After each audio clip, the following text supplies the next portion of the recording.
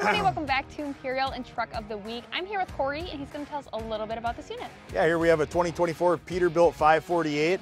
It's got the PACCAR PX9 350 horse engine in it, uh, Allison 3500 RDS transmission. Um, this one's well equipped. It's got 4310 blower package, got your 14 gallon secondary moisture trap. Um, it's got the full wireless remote package on it, so you can open and close your valves, turn the pump on and off, go from pressure to vacuum to neutral. Um, you know, nice features, kind of make it, making sure it's a one-man truck and you can do everything right from the manhole. Mm-hmm. Um, we did some shovel holders on the front head here, added some diamond plate to it. Yeah, no, Um, good. What's the actual tank capacity? This one's a 4,000 gallon. Okay. Yep, 4,000 aluminum. Um, we got Protect toolbox on it, all chrome wheels, uh, chrome visor on the front. And this uh, this lettering looks really good, and that that's Yep. something we can do here. Yeah, this was done local at Super Lettering and Signs.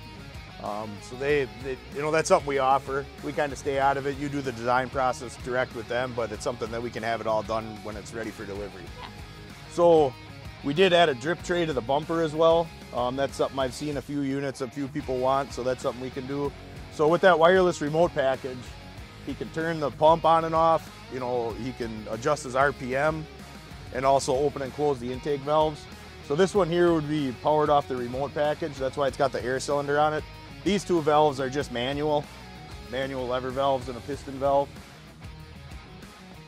And then get to the other side of the tank here, and he's got a jetter package with a 100 gallon stainless water tank. I'm gonna take a look in here. It's a CAT 5 GPM by 3000 PSI jetter. Um, it's got the lance, the wand, you know, kind of a little starter set for some tips, wrenches to change everything. We tried to get everything nice and neat in one package here, make it pretty user friendly. And then the tank itself is a 100 gallon stainless steel water tank that feeds the jetter. Imperial made, Yep, made in-house. made in house. And then this is also controlled by the. Yep, this is his front intake valve, and that one he also wanted to have remote controlled. So they can choose. Obviously, they can choose what they want the remote to control. Yes, Okay. yep. Usually you can do up to two valves. The jetter itself is also on the remote package, so the PTO on and off and the RPM for the jetter as well as the blower. But give a big shout out to Rocky Howard from Upstate Septic, Dr. Flush. Thanks for your business. Yep.